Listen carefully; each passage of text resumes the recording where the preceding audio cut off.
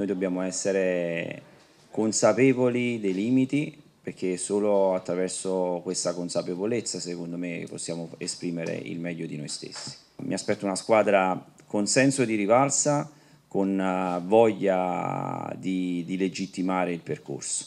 E in questa partita credo che io debba essere bravo insieme al gruppo di lavoro a, a scegliere i ragazzi che possono mh, dimostrare eh, e meritare la fiducia che gli darò. Noi dobbiamo incominciare ad avere una mentalità diversa, cioè proprio la mentalità di chi vuole attraverso quegli, quell'identità di fame, di passione, di voglia, eh, dimostrare di poter fare meglio, ma partendo dai limiti.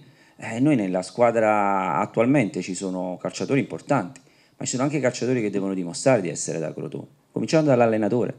Quindi eh, dobbiamo ricercarla in noi, non, essere affamati, perché essere soltanto arrivati qui non significa poi eh, avere, eh, come dire, eh, le strade spianate affinché fai bene. Arrivare qui e poi devi meritartelo di stare qui e dobbiamo fare di più.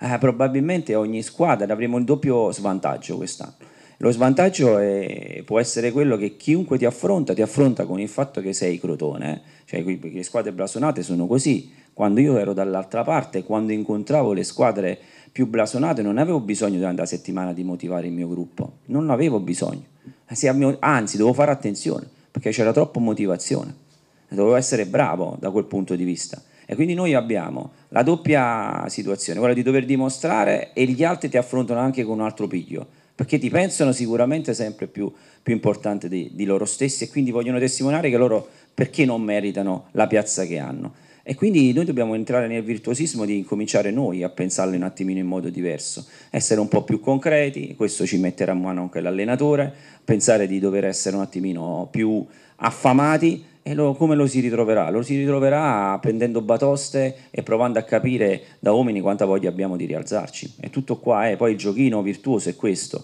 non abbattersi, non trovare alibi, prendersi le responsabilità, è l'unico modo affinché eh, possiamo toglierci delle ferite che rimangono, perché poi i segni rimangono e sono anche belli da vedere perché poi te lo ricordi che hai una ferita. Dobbiamo essere bravi eh, da questa ferita a non farla diventare un'emorragia, a lavorarci sopra e cercare di incominciare ad avere un atteggiamento un attimino diverso.